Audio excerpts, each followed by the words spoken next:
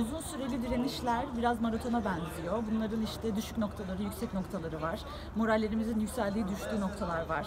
Basın görünürlüğümüzde dert ettiğimiz noktalar var. Basın görünürlüğünü dert etmediğimiz noktalar da var. Çünkü bazen can derdinde oluyoruz. Gerçekten ne kadar görünüyoruzu düşünemiyoruz. Ve hal böyle olunca da direnişin nasıl devam edeceği konusunda net bir şey söylemek çok kolay değil.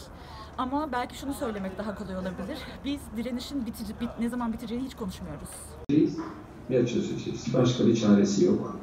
Ee, küçülen e, artık biten bir e, konu değil ki. Büyüyen, iyice kronikleşen bir mesele. İnsan hakları anlayışı çerçevesinde çözebilirsek çözebileceğiz. Biz arkadaşlarımız derslerine giremiyorken, bizimle kampüste bulunamıyorken derse girmeyi e, istemiyoruz. Böyle bir ortamda buranın okul olduğunu düşünmüyoruz. Bir hocamız da böyle bir paylaşımda bulunmuştu. Çarşamba günü bu iki semte eylem yasağı geldiği zaman çocuklar oraya gitmeyin, orası şu an okul değil demişti. O günden bugüne 3 ayda hiçbir şey değişmedi. Burası hala okul değil. Şu anda biz kendi yaşam alanımız içinde bulunuyoruz ama hiçbirimiz bir okula geldiğimizi, bir akademik ortama geldiğimizi hissedemiyoruz.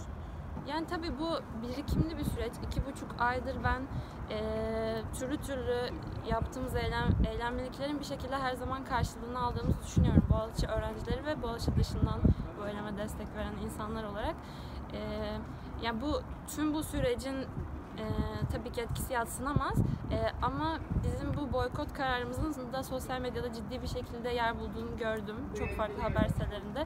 Tabii ki Boğaziçi öğrencilerin Boğaziçi öğrencisi olmamasına rağmen diğer arkadaşlarını, eyleme destek veren diğer arkadaşlarını desteklemek amacıyla e, bu şekilde bir boykota gitmiş olmasında tabii ki etkisi olabileceğini düşünüyorum. dersleri aldım vesaire vesaire ve e, şeye geri döndüm. Bu kasetlerde duran Berlin'de yaptığım çekimlere geri döndüm.